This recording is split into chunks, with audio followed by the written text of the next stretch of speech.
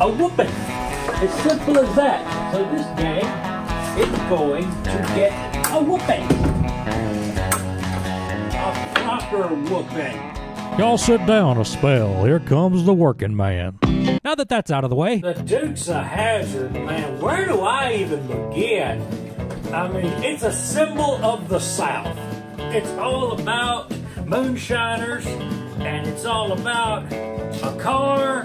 What's not to love? And you've also got the world's most racist car in the world. Debatable. let's just clear this up before we start the video. This is not a racist car. This is a racist car. I'll be using the Confederate flag as the background image of today's show because it goes with the theme of what I'm talking about. If you have a problem with that, Shut up. The Dukes of Hazzard was a TV show that ran from about 1978 to about 1984. And uh, it had a lot of hardships. It even had a, a season, a whole season, where the main cast was completely replaced. Being a successful TV show with a movie on the way, which was filmed in the greatest damn state in all the US of A, it just stands to reason that it would have a video game coming up for it. In fact, it had about three or four video games, and we're going to look at them. First two that came out were on PlayStation 1, and I happen to have fond and unfond memories of both games. And I still have them, and luckily enough, I still have a PlayStation 2 that we can play them on, so let's play them. The first game we'll look at is called Dukes of Hazzard Racing for Home on the PlayStation 1. I have the greatest hits version. Published by SouthPeak Interactive and developed by a place called Sinister Games. Sinister Games. Okay, never heard of them. Did they make anything good? No, in fact, Batman Gotham City Racer got a 0.9 out of 10. Whew! Now, kids, all I can tell you about this is that I liked this game when I was a youngin. I liked both of the PS1 games when I was a youngin, but I was a kid. You gotta remember that. I was probably as old as you guys are right now. I had no standard of what was a good game and a bad game. I just thought if a game was bad, it was just something that I wasn't into. Maybe somebody else likes that kind of game. Do we have any Hunt for Red October for NES fans in the audience? No. Now let's start the game. You get treated by the intro to the actual TV show Dukes of Hazzard, which I can't play the audio of or I get a copyright strike. Okay, the first thing I notice, and it drives my car nerd OCD completely crazy. What is the roof line they gave the General Lee? It looks like they took the roof line of a 73 Charger and put on a 69 Charger. Ha ha, 69. Get it out of your system. And oh my god, that CGI. Bo and Luke look like aliens. Uncle Jesse looks like Samuel Jackson with a beard. Enos, uh, well, Enos always looked weird. Main menu is where I figured out that this game does not run correctly on a PlayStation 2. The menu lags at your every button input. Watch me try in vain to put in my name. This is how slow it is to put your name in. On on the PlayStation 1, it's just pop, pop, pop, pop, pop. Uh, it's really easy to enter things. And I guess my name's going to be Player Stew because I didn't know that that was part of your name entry. Also, the music in this game, oh my god, I love it. Listen.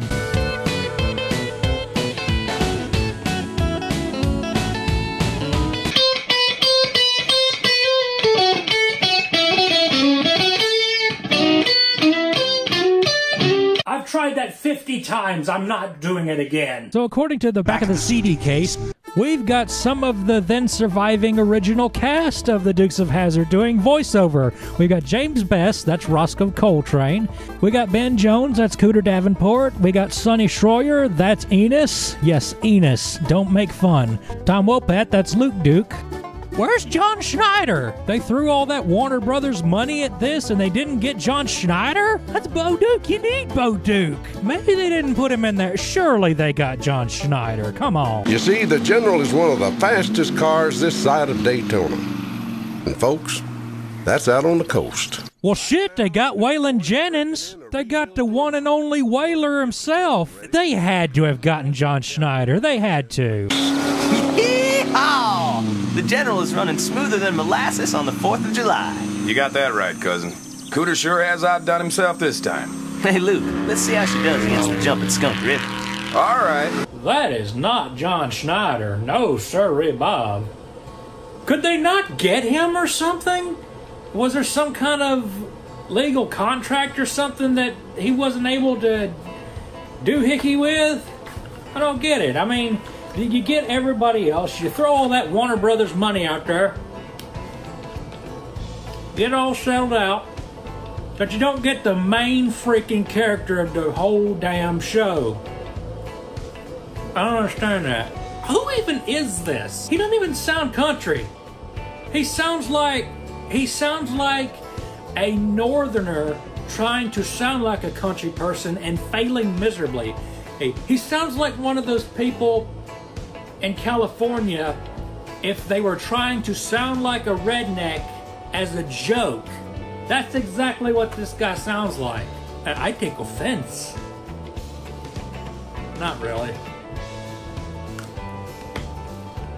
gameplay footage, and away they go. And now finally we get to sit behind the wheel of the General Lee itself. And let me tell you something.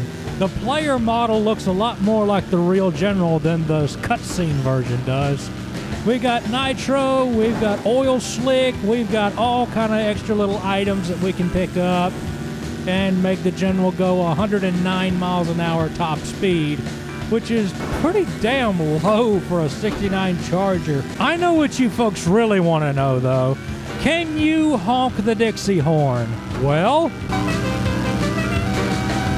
yes, you can. You're going to hear me say the word floaty a lot in this review because the driving mechanics, oh my god. You turn just a little bit and the car tries to sniff its own ass. You have to ease onto that steering, go every little bit of a tap at a time if you want to stay straight and true, or not spin out or hit a wall or some shit. What is fun is pissing off Luke Duke every time you hit a wall, though.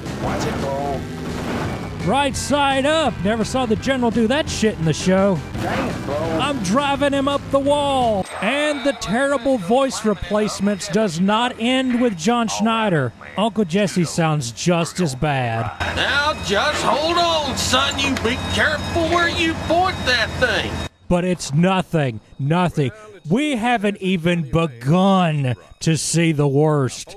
Look what they have done to Boss Hogg. Roscoe, kind of sheriff are you? Well, your name is Mud if I don't get my money. Roscoe, there's gold in them far hills. That is not what he sounds like. The second stage is where we really get the first taste of what the rest of the game is going to be like. Basically, you're going to go through a few long, winding roads, all the while Roscoe or Enos or both are trying to plow you down in their 100% invincible 78 Plymouth Furies. And as you can hear from that possum on a gum bush, they are really good at their job. They will mercilessly pile drive the crap out of you at the most inopportune time they can think of. And this, my friends, is where all that floaty steering comes into its own. Every time you get hit just a little bit or hit the side of the wall, oh, you go all over the place. Because of that, hitting ramps doesn't exactly go as planned sometimes. Dang it, Bo. Dang it, indeed. You're gonna want to turn left up here. Oh, yeah, that's how you figure out where to go in this game. This game isn't exactly free roam, it's 100% linear, but there are a few crossroads here and there, and you do have to turn. It's a neat little idea. I'd like to see that used more. Let's go get him, Bo. Now, here's a fun one. By fun, I mean fun to make fun of. You're supposed to bash into Uncle Jesse's truck until it stops. Uh, notice they call it pulling it over. I guess we're pulling Uncle Jesse's truck over in the way that Enos just tried to pull me over earlier. Here's something that stays true to the show. Bo and Luke have a bow and arrow, and you can use that as a weapon against enemy cars. Makes a weird sound. You gotta get the mortgage payment to the bank by four o'clock or we'll lose the farm. That boss Hogg is an ornery old lizard, and I hates him. Alright, you Duke, you done messed up.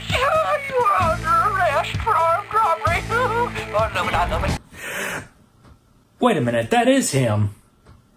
And my hat's crooked. So this is the same as the Enos stage, only with Roscoe P. Coltrane. Alright, Bo, pull on over now, and I'm not kidding. And Roscoe Coltrane can only be described as one of the greatest policemen that ever lived. Sorry, Barn. Well, that was a horrendous crash. Anyway, we finished the stage off. Boss Hogg still looks terrifying, but we do finally hear Catherine Bach, who played Daisy Duke. Our mortgage payment, right on time.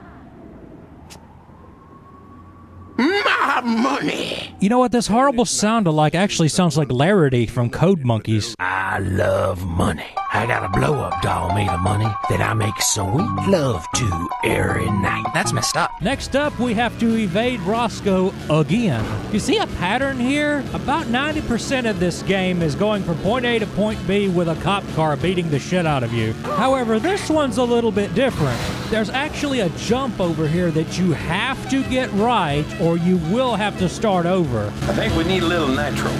Hold her steady, Bo.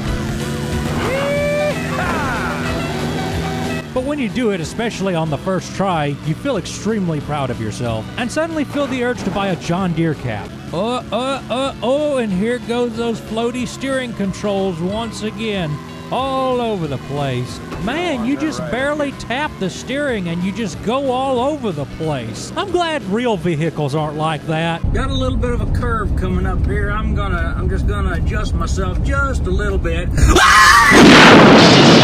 Speaking of crashes, here's one of my favorite crashes I've ever done in this game. Watch it, Bo. I'm running circles around you. How much do y'all want to bet one of the developers' birthdays was January 23rd, 1987? And now we recycle the racetrack from the very first stage. I don't know about you, but I don't like the looks of this fella. To be God honest with you, I don't like the look of any of these fellas. These CGI faces give me the heebie jeebies. Also, I failed to mention that the loading screen gets longer and longer the more you play the game for some reason. Uh, it's missing something. There we go. Here's another example of this game's phrasing. Actually, we need to quote unquote pull him over. Somebody help! I don't know how much longer we can keep going. So we've got to go find Boss Hogg, and then we've got to crash his Cadillac into pieces. But first, I want to show you the floaty controls playing against you. Yeep! I will say this I know the game so well, and I've played it so many times that I'm pretty good at it now, and this is the first I've actually lost in this whole playthrough. Whoops, uh, sorry. Almost forgot. Somebody!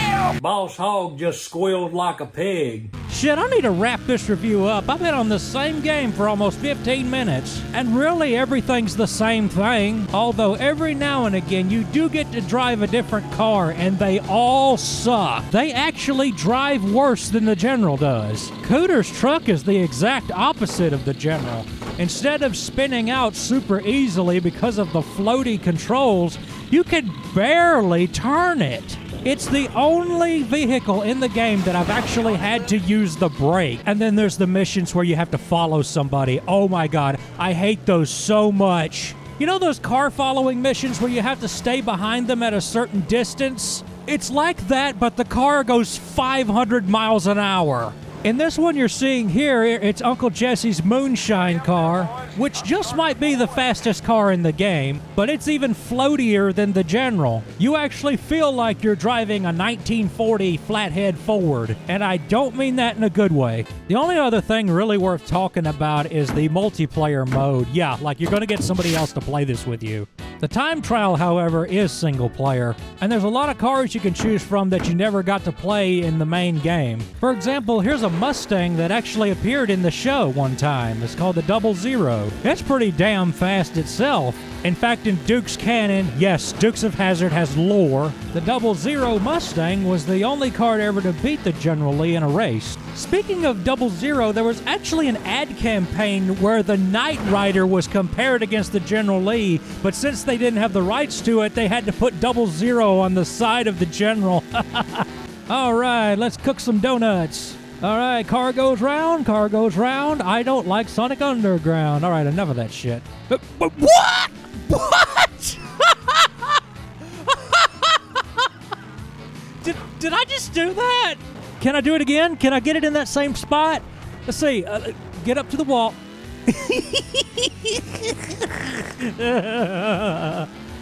Shit, what a crappy game. The second Dukes of Hazzard PlayStation game that came out was known as Duke Nukem Land of the Babes. I'm a bad old man, meaning lots of harm, and I don't need a car.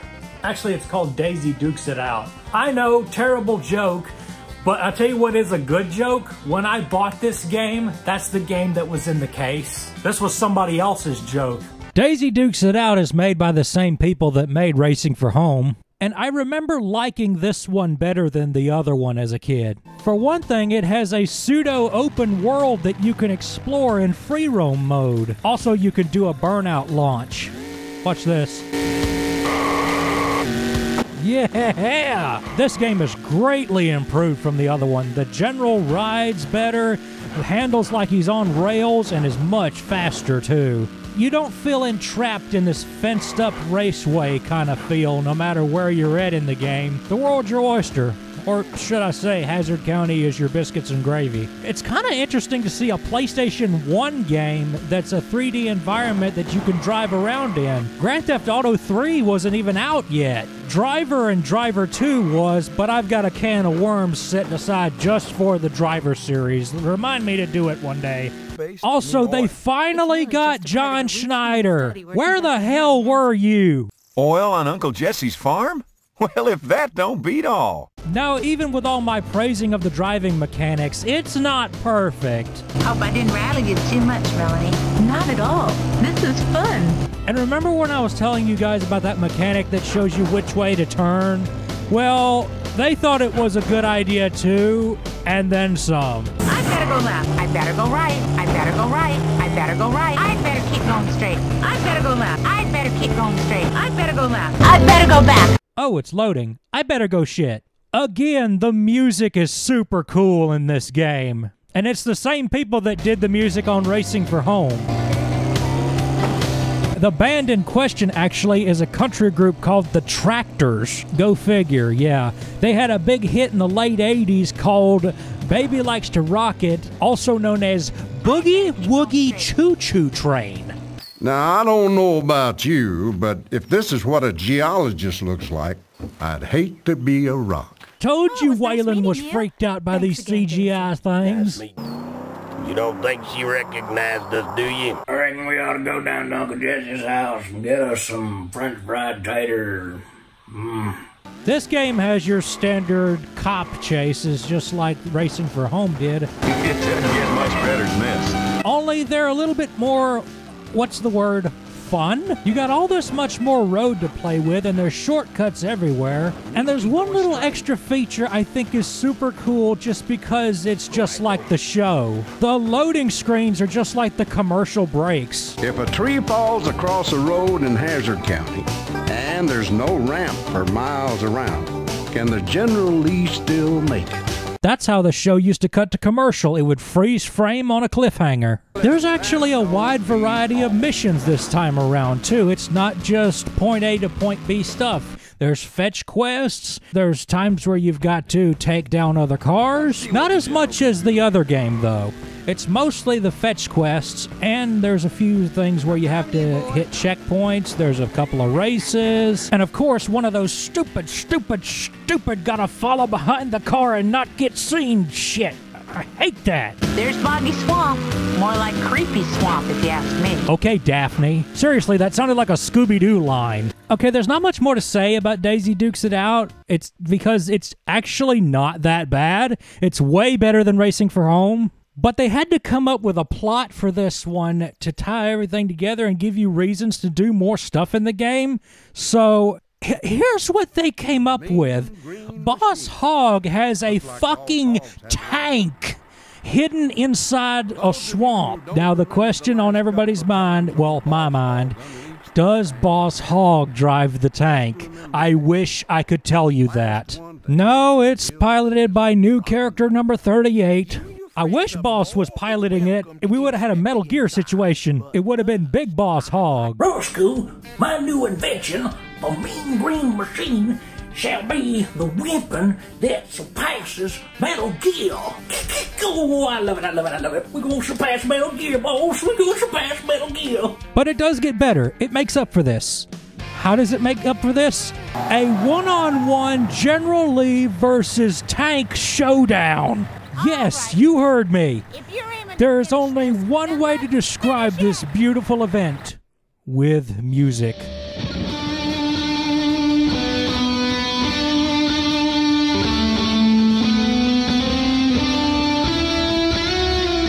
Yeah, you get the idea. Next game. Now, this one I'm not so familiar with. The PlayStation 2 game came out long after my Dukes phase had kind of wore out. And the movie had just come out too, and that's the whole reason this game exists. Now, the thing. Ubisoft. I'll be damned. Did they make the game? No, they just published it. Okay. Ratbag. Never heard of Rat Bag. Who? What they make? Wow, that's a lot of dirt racing games. Saturday Night Speedway. I used to have that. I liked it. It does look like once again, thanks to that Warner Brothers money, they was able to get John Schneider, Tom Wopat, and all the other cast in there that's still alive. And just so y'all know, y'all can go out and get the first season of the Dukes of Hazzard on DVD right now. Coming soon, the second season. Got it! Before I get to this last one, I want to just quickly run through the rest of the Dukes of Hazzard games left. There's only like so many, and they're super simple, so we could just get through them really quick. For example, there was a Dukes of Hazzard game on the Commodore 64. Now, this isn't my video, I had to get this off YouTube, but I had to show it to you guys because of one thing and one thing alone. It goes by the classic arcade rules of don't hit anything and keep going as long as you can. And oh, yeah, watch out for those FBI helicopters that are throwing fucking missiles at you. What did the Duke boys do to deserve FBI helicopters shooting missiles at them? What horrible terrorist action did the freaking Duke boys do? You know, I joke, but there was an episode where they got caught with marijuana. Then there's a Game Boy Color port of Racing for Home and it's just as bad as it looks. It's just, it's a, really, it's a waste of time. It's not worth, no, no, just no. Okay, I've been putting it off long enough. We have to play the PS2 Dukes game. it's not good, y'all. Ain't the stock car race today? I bet that prize money be more than enough to pay off the mortgage. If you can win, that is. Now, who left the door open? Okay, that is an improvement. That is a way better Boss Hogg. Still not perfect, but Sorrell Booke was his own man and nobody else sounds like him. Just drop by to say there ain't no way you gonna win that stock car race. so your first mission in the game is the origin of the General Lee. We get to see what the General looked like before it was an orange rebel car. Now, as soon, as soon as you start the game, the first problem with this game rears its ugly head. Your field of view is awful. You can barely see what's around you. Most racing games nowadays have a way to change the camera uh, or at least flip the camera around or turn it around. No, it does it automatically, and not when you want it to, and never in the direction you want it to. So that's the first problem with this game. The second problem is this car. Every car in the entire game is slow as molasses. The music is obnoxiously loud and honestly kind of annoying. No tractors here. Never thought I'd be turning music down. There is no satisfaction in driving. There just isn't. The car feels so heavy, hard to turn, and the camera has a heart attack when you try to turn real sharp. Okay, cousin. You watch me nail the chunk. Cut through those bushes on the left and gun it. Watch us fly. More like watch you fall with style. I want to like this game so much because, for one thing, it has the open world environment like Daisy Dukes It Out does. However, you don't have any loading screens. And not only do you have the Dixie horn, you have a yeehaw button. No, you don't understand. There is a button specifically mapped to make you scream out yeehaw. There's no use for it, it has no mission value, it's just a thing that you can do. But every time you try to be cool in this game, something reminds you that you're not. Why did that truck have to be right in the damn way? Why? Why? I hate this freaking race. It can die in a fire. It's got that bullshit difficulty where you have to be 100% clean and precise all through the entire race or you're going to lose. The most bullshit part of it is the first place car is just as fast as you are. So you have to come up with your own little system of quirks and tricks to come up to him and get past him somehow. If you fuck up at all, just start over. Just fuck it, start over. Which doesn't sound like that much of a big deal, but the race is eight laps. Eight fucking laps. That's NASCAR bullshit. And after you have spent all that time getting in first place, and you feel so proud of yourself, and you are making your way towards the finish line, this happens. Losing power, Luke. The general ain't gonna make it. Yeah, looks like you know, Duke boys are fresh out of luck. Yeah, yeah, kick me while I'm down. Now, you want to know why that happened? Well, in that first cutscene we looked at, Roscoe was taking out a little insurance policy on the race. Decaf insurance. With two sugars. That's right, you are going to lose the race no matter what. You know, it's shit like this that people like me who are on four antipsychotics don't need to be burdened with because then I start grabbing for them. No, you don't know how it feels. You don't know how it feels. You don't know how it feels to be me. This is my idea of humor. I'm having fun! Yahoo! Oh, wait a minute. Oh, that's right, this game hates me. Speaking of bullshit difficulty, there's this one mission where you have to haul dynamite in the back of the General and get there before time runs out, and I made it by the skin of my teeth. Oh, great. Another follow that car mission. The game doesn't even tell you how far or how close you have to be, you just lose. We lost Enos. I told you not to hang back so far. Guess Daisy'll have to go on another picnic. You told me nothing! But the mission that finally did me in, the one that made me decide I didn't want to play this game anymore, was yet another follow that car mission in Uncle Jesse's truck. Oh my god. It makes me sick just looking at the back of this truck again. This mission was so bad, it made my recording software crash and I had to use a different one. And the problem with it is the same problem that was wrong with the other mission like this. You can only be so close to him and you could and you have to be so far away from him. By the time you get close enough to where you can see him, you're too close. So you have to be so far away that if he goes over a hill or something or goes behind a tree, you're lost. You have no idea where he's at anymore. There is no happy medium between too far and too close. And you have to start the mission all the way back over again. And it's so long. You know what? You know, you know what? You know what? Fuck this shit. Fuck it. Ugh. I didn't expect this to be a good game. I expected it to at least be a little bit better than the PS1 games. I really didn't expect it to be so dadgum aggravating and hard that I can't even finish the review. I can't finish this game. I can't bring myself to finish this game. So you know what's going to happen to this game? It's hot in here. Ah. You know what's going to happen to this game? Give my regards to your father in hell. Well, I can honestly say good times had by all, just like they say on steamed hams. And, uh, let's see. Twitter, I'm Stuart K. Reilly. Ko-fi, K-O-F-I, it's just called Stuart K. Reilly. A link in the description. Link to everything in the description because that's how I roll. I don't want y'all to have to look for stuff. Now, coffee thing now, What that does is that donates money to me. You don't have to donate very much. I don't even care if you don't donate but like two bucks. But when you do that, I, that money goes directly to both equipment for making these videos and games to review for you guys. The stuff that I can't find nowhere. And I would rather just get the physical copies anyway, because it's just it's just a lot easier to do, a lot easier to get an honest opinion on it. You know what I mean? So, I hope y'all enjoyed today's Working Man Games. I will see y'all again in another month, and we will have something different to talk about. What is it?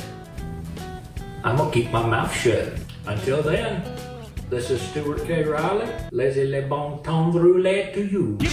Some whiskey, cigarettes. Talk so much shit about game, you'll think he's got Tourette's. He don't eat Doritos, he oh, don't have no game plan. Some people call him Reilly, you can call Get him that air Working going. Yeah, Man. yeah, get that air going. Get that air going. Shit.